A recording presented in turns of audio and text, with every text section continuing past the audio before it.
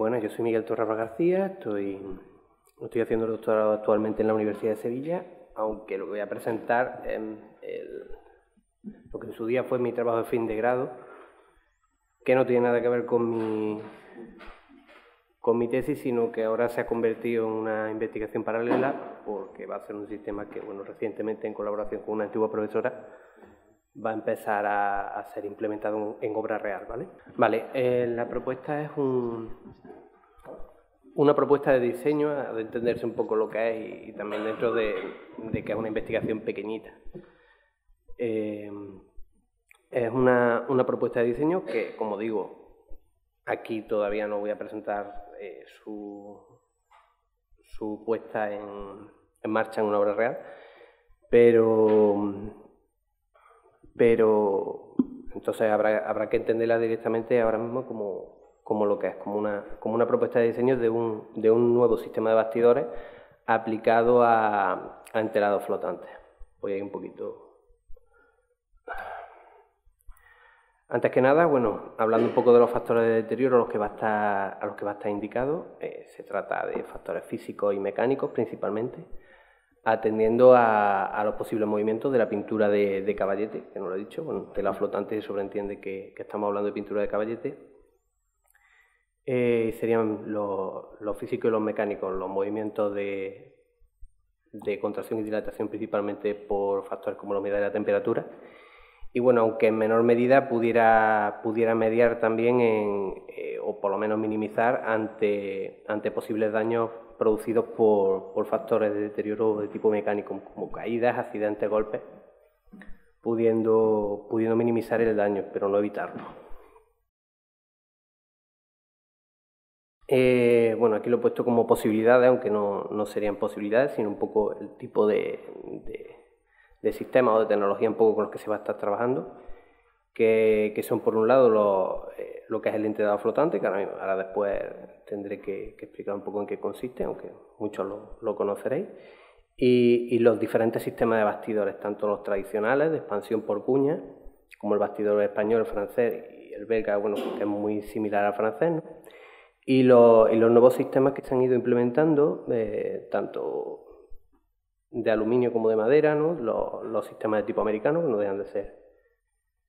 adaptaciones de, o funcionamientos similares a, los sistemas tradicionales eh, y, los que luego he llamado sistema de tensión perimetral y sistema de tensión por el reverso. Hay que, hay que entender un poco que, que en el mundo de los nuevos sistemas de, bastidores que se han ido desarrollando no hay una nomenclatura ni hay un tipo de una terminología específica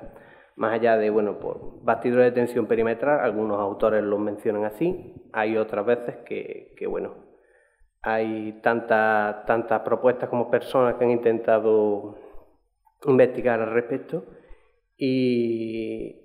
y entonces me tuve que decantar por, por, tomar una, por adoptar una terminología específica para poder referirme a uno u otro tipo de sistemas, ¿no? ya sean accionados por, por tornillería o por, o por muelles este es el esquema de lo que es un sistema de entelado flotante. Eh, básicamente, a diferencia de, los, antiguos reentelados, ¿no? bueno, agachas o más modernos, no utilizando mesas de succión y, presión, de, succión y, calor,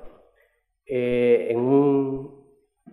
en un entelado flotante el, cuadro, lo, que sería la pintura original, se, encuentra tensada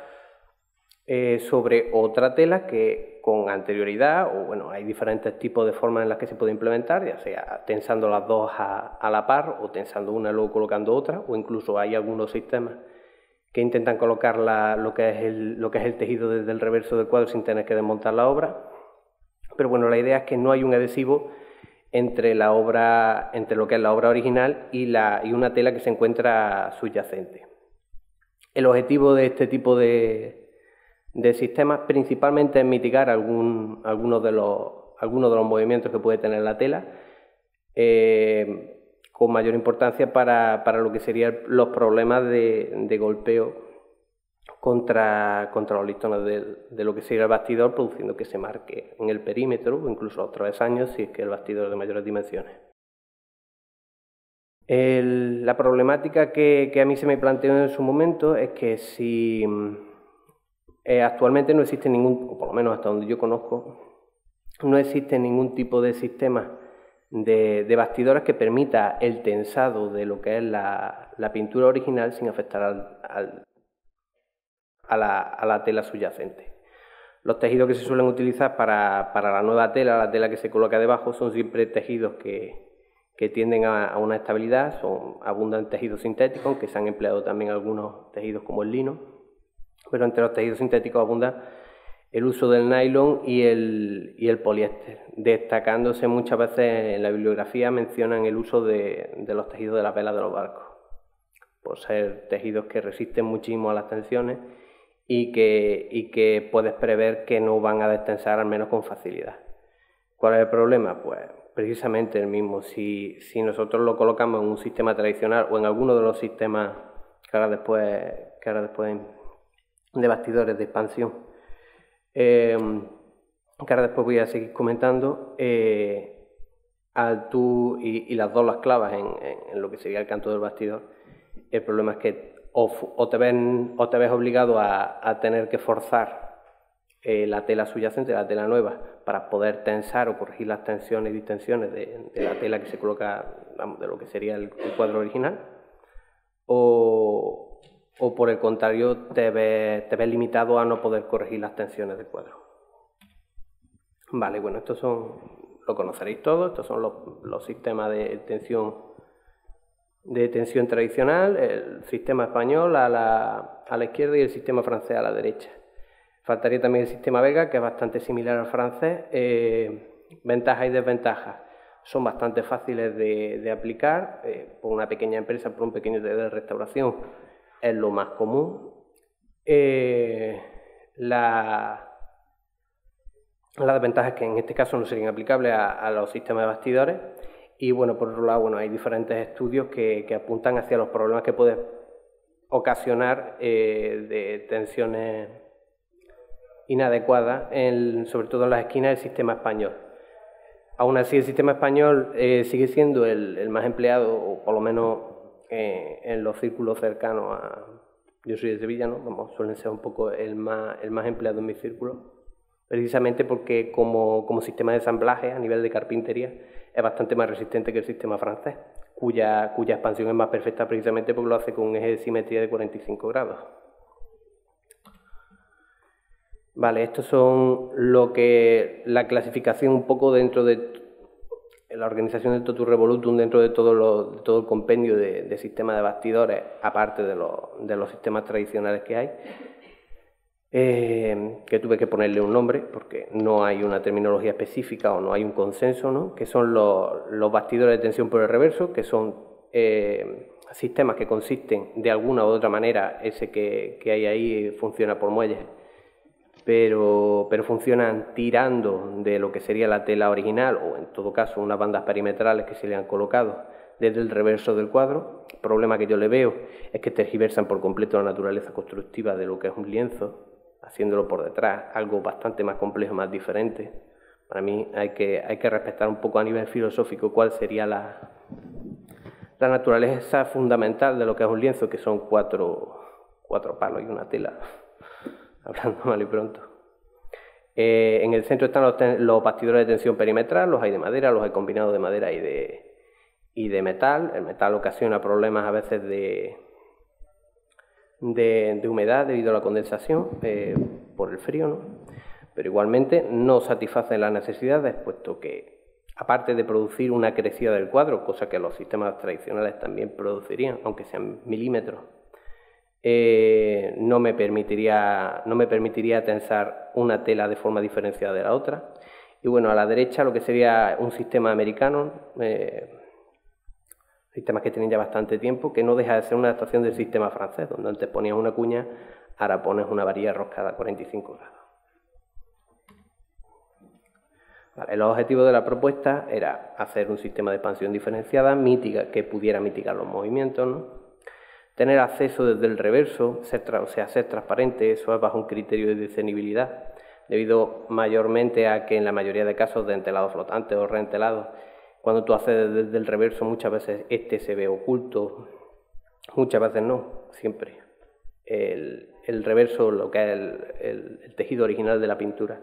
se ve por completo, se ve por completo oculto. Eh, y bueno, primando un poco un criterio de discernibilidad entre lo añadido y lo, y lo, y lo original, no solamente desde la parte frontal, sino entendiendo el lienzo, como ya he dicho, y su naturaleza constructiva como, como, como un todo más complejo, como, como un objeto. El utilizar materiales inocuos y que puedan servir de protección a la humedad y depósitos superficiales desde el reverso ¿no? y permitir la transpiración y que sea sobre todo de fácil construcción, es decir, que esto no sea una cosa solamente que pueda ser llevada a cabo desde instituciones con, con, con grandes poderes adquisitivos, sino que esto pueda ser una tecnología que pueda ser aplicada a pequeñas obras y a pequeñas restauraciones que a nivel local se pueden llevar en pequeños talleres.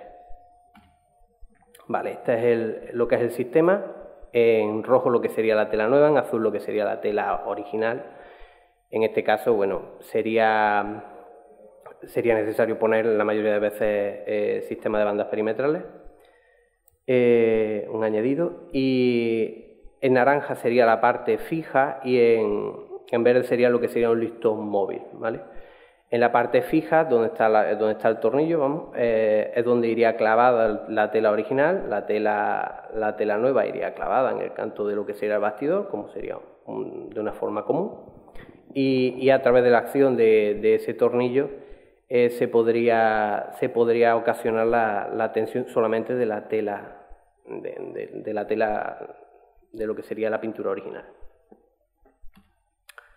Aquí no sé si va a funcionar de esa manera. Me doy a prisa porque esto está ya en rojo. Eh, bueno, y aquí un poco eh, una última innovación que tuve fue un poco una investigación en, cuanto a las telas y, los diferentes tejidos que se podían utilizar. Esto es un centímetro cuadrado de las diferentes propuestas que yo hice en su momento. Son todas de, son todos de poliéster, ¿vale? Hablando un poco en cuanto a, eh, al final me decidí por estas dos, son monofilamentos de poliéster de los empleados en las pantallas serigráficas. Principalmente el el beneficio que tiene es el, mayor aguante que tiene a las tensiones, es una tela que está hecha para, ser tensa de un bastidor y para que se ejerza presión sobre ella sin que pierda tensión y, la uniformidad que tiene. En, concreto se utilizaron las 55 HT y 64 HT. Significa, es una nomenclatura específica de este tipo de telas, que son de 55 y de 64 en este caso, eh, hilos de trama y timbre por centímetro cuadrado. Y bueno, aquí un poco una imagen de, un prototipo que hice, eh, que ahora ya tendremos que, hacer uno en condiciones, de cómo sería el sistema, el sistema de, de bastidor flotante, sobre todo de, tensión de telado flotante. ¿no? Eh, desde el reverso, lo que sí, antes de acabar, eh, dejar claro que lo que se ve aquí no es la tela añadida, sino que lo que se está viendo es la tela original que yo coloqué encima, es una, tela de, lino crudo, no tiene absolutamente ninguna pintura ni nada, simplemente probé si, si, se, si era posible esa, esa, esa, tensión producida por el bastidor y, y, sin que se ocultase el reverso. ¿no? Entonces, bueno, pues hasta cierto punto me, ha funcionado y ahora lo voy a probar en una, en una obra contemporánea.